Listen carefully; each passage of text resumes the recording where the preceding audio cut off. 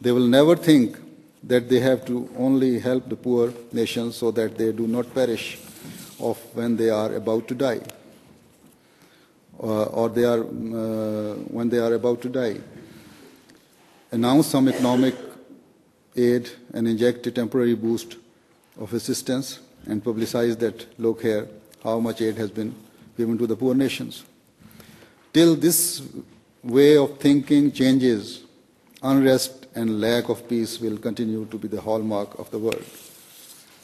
It is true that these are the mistakes committed by the people and leaders of underdeveloped countries and their weaknesses, apathy, worthlessness, and selfishness are playing a key role.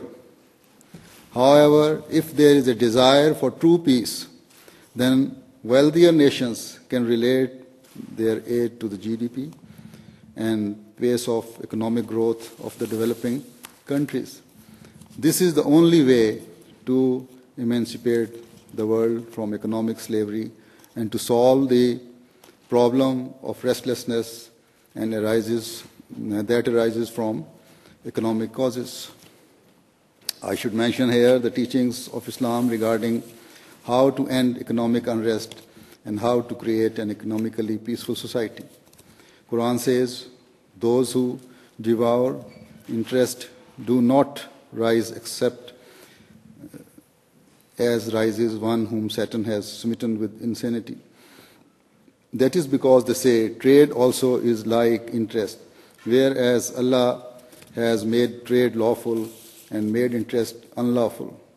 So, to whom an admonition comes from his Lord, and he desists, then will that which he received in the past be his, and his affair is with Allah. And those who revert to it, they are all the inmates of the fire, therein shall they abide. Allah will abolish interest and will cause charity to increase, and Allah loves not anyone who is a confirmed disbeliever and an arch sinner.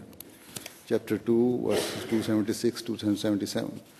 Then it further says, But if you do it not, then beware of war from Allah and His Messenger. And if you repent, then you shall have your original sums. Thus you shall not wrong, nor shall you be wronged. And if any debtor be in straitened circumstances, then grant him respite till a time of ease, and that you remit at it as charity shall be better for you if only you knew. Chapter 2, verse 282 81.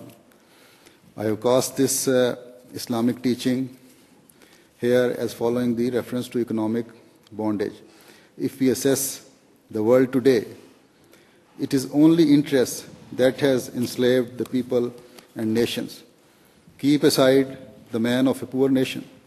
Even a common man in the developed world is enslaved to interest. Although apparently uh, the person is the possessor of property, yet he rarely becomes the true owner of the property up to the time of his death. His earning power, the increase in the rate of inflation, and the repayment of interest do not enable him, enable the poor man to leave the world free of debt. The same is the situation with the poor countries. They are immersed in debt. And this economic slavery perpetuates through generations. I cannot go into further details on this issue, but if you look into it yourself, you will no doubt agree with me. Therefore, as I have quoted from the teachings of the Holy Quran, Islam instructs that you should not enslave people through interest because when you are cruel to a needy person, your greed for interest will make your thinking evil and cruel. You will not be counting the true and base capital, but will give greater uh, preference to interest, and as a result, you will continue to squeeze further an already crushed class. So, if you are a true Muslim, then lend sympathetically and without interest, because God Almighty will bless your capital.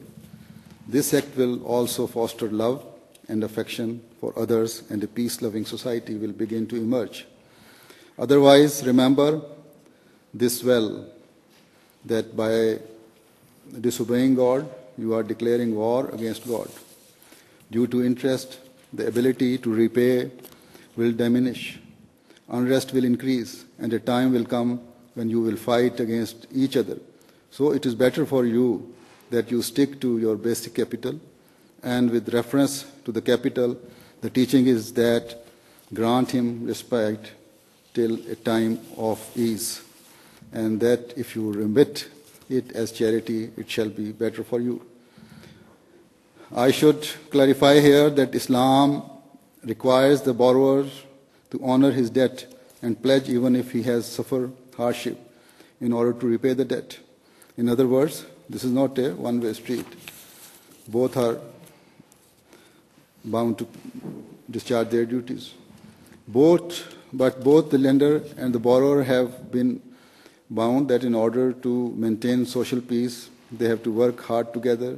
So, this is one of the Islamic teaching of God about honoring the economic rights so as to create economic and social peace in the world.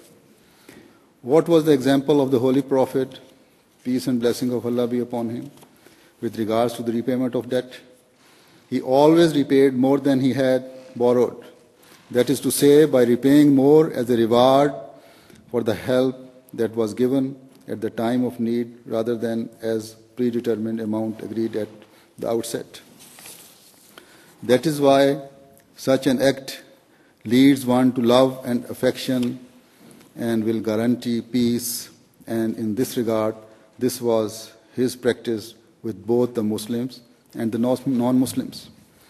The last words that came from his blessed tongue were to draw attention to two very important issues. He said, O ye Muslims, do not forget my teachings about prayers and slaves.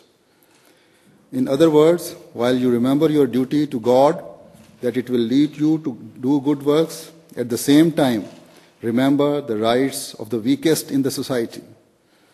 Be very kind to your slaves and trying to free them in your task.